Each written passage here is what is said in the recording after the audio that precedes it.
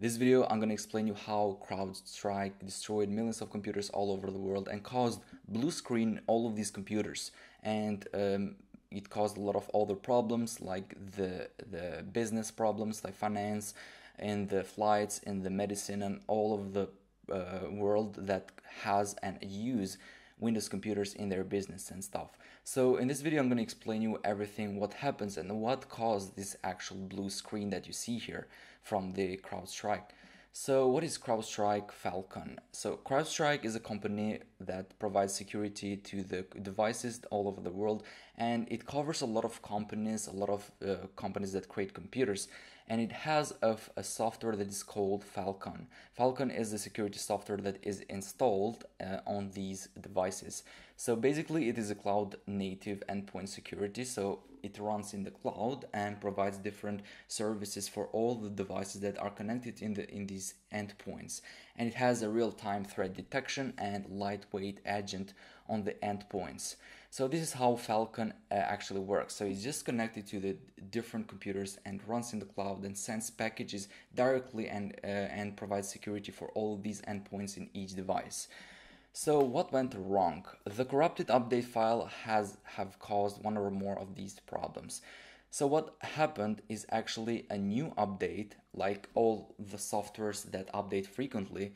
The CrowdStrike also updated Falcon in a certain time and they sent the update but this update had had an error message or an error code or an error update it was not a perfect update and then it sent it out to all of these endpoints and all of these devices in the same time.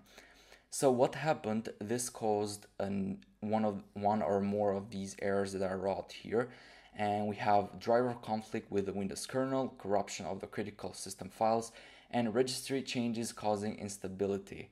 So uh, I'm going to explain all of them and what really happened to this update and what caused the blue screen error.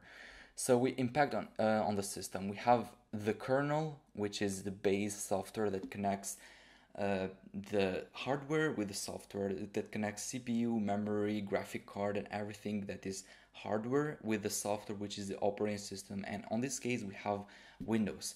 And also we have CPU and memory spikes and system crashes on BSOD, which I will explain what is that. So here is a diagram that uh, explains everything. So first we have software here, and as I told you before, you uh, like all the softwares, they, uh, everyone usually updates their softwares, but this software had a bug, and the bug went through the driver.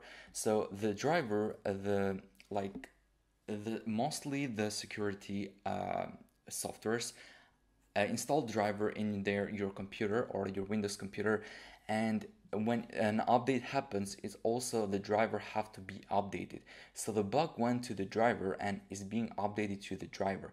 But when an update of the driver happens driver is a really goes low in the level of the uh, computer. So the built-in architecture of the computer it goes in a lower level than the software. So it touches more on the low and more privileged things in your computer.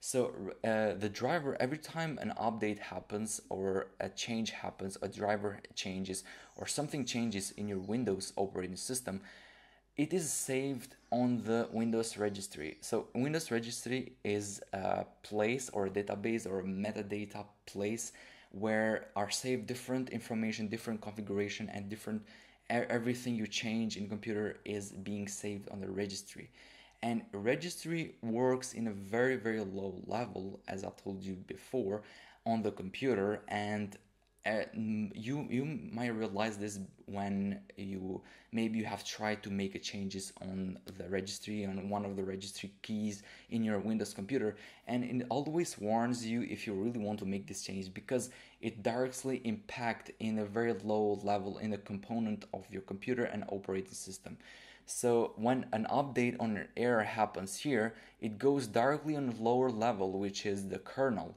And the kernel, uh, like I told you, is the software that makes the connection between hardware and software and is very base and uh, base software in your computer and has the biggest privileges in your computer. And uh, during this time that updates come and the error comes to the kernel, like the the computer overloads and it sees the error and tries to to give a response to that error and what the response is it sees that a lot of problems critical errors are happening. And the the uh, response on the windows computer it happens directly uh, because windows has a, a self protection thing that can uh, shut down everything and stop the critical errors to happen. And what they do then they just go ahead and give a response to this or they shut down everything and on this case the response is just the blue uh, screen of death or the BSOD so this is how it caused this uh, blue screen here or the, the error message. So it just shut down everything to not lose the data. It's a self-protective mechanism that Windows computers have. So the blue screen of death triggered by the kernel uh, error level errors, memory dump process, or the error codes pointing to the driver issues. So when error happens in the kernel level, it directly shows this blue screen and it shut down everything.